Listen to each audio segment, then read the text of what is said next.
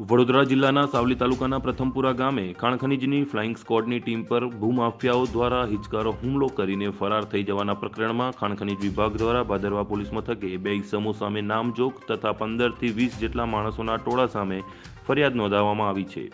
સાથે જ પચીસ લાખની રેતીની ચોરી કરી ફરાર થઈ જવાના પ્રકરણમાં તેમજ સરકારી અને ખાનગી વાહનોમાં તોડફોડ કરી હુમલો કરવાની ફરિયાદ નોંધાતા ભાદરવા પોલીસે ગુનો નોંધી આગળની કાર્યવાહી હાથ ધરી છે. નામ ને હોદ્દો નામ હરેશ જાની છે અને હું આસિસ્ટન્ટ ડાયરેક્ટર ફ્લાઇંગ સ્કોડ સુરતથી આવું છું. અહીંયા એકચ્યુઅલી હાલે અમને હેડ ઓફિસથી લોકેશન આપવામાં આવેલું કે મતલબ આ જગ્યા ઉપર ઇલીગલ રેતીનું ખનન ઓબ્લિક વહન ચાલે. મતલબ જે, મતલબ જગ્યાએ આજે આપણે બધા ઉપસ્થિત છીએ એ જગ્યા ઉપર.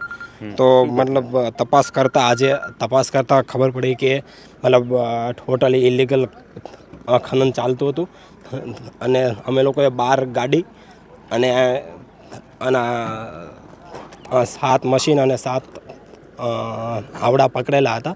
એટલામાં પછી લગભગ ત્રીસથી ચાલીસ જેટલા લોકલ લોકો આવીને મારા મતલબ સ્ટાફ સાથે મારકૂટ કરીને અને હશેક જેટલી ગાડી અને એક મશીન ભગાવી ગયેલ છે.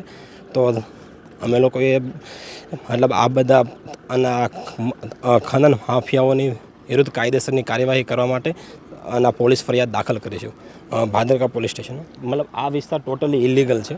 પરમિટ ક્યાંય ઇઝ આપવામાં આવેલી નથી. માપણી સ્ટાફ દ્વારા કરવામાં આવી છે. હવે એ જ્યારે ઓફિસે જઈને જીપીએસથી પતાવવામાં આવશે. મતલબ એ જીપીએસ થ્રુ અમને ખબર પડે. ના ના અહીંયા કોઈને અટકાયત કરવામાં આવી નથી.